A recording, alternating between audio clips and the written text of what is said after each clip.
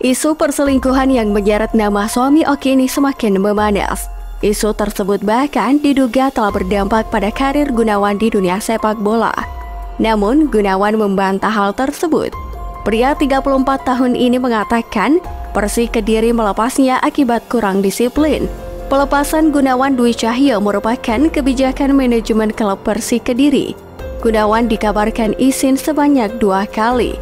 Namun, menurut warganet, dilepasnya Gunawan dari Persik Kediri sebagai karma telah menyakiti hati istrinya. Menariknya, Gunawan yang baru saja dipecat tidak kehilangan ide.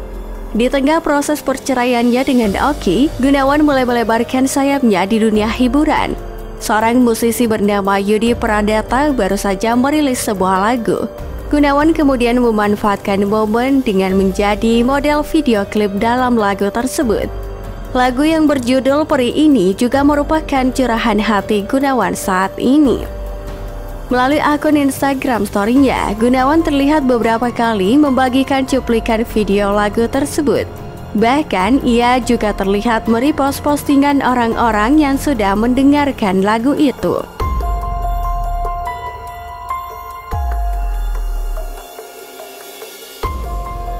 Oki yang mengetahui kabar tersebut mengaku keheranan. Pasalnya, selama ini ia tidak mengetahui jika sang suami bisa bernyanyi dan berakting.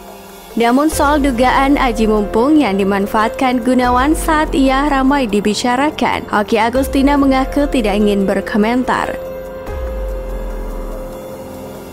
Sebelumnya, Gunawan Dwi telah meluruskan isu perselingkuhan beberapa kali. Namun Oki Agustina sudah sejak lama menaruh curiga dengan sikap sang suami.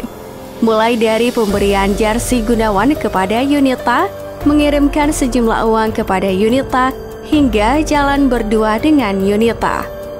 Diketahui beberapa warganet mengirimkan bukti perselingkuhan Gunawan beberapa waktu lalu kepada Oki melalui pesan di Instagram.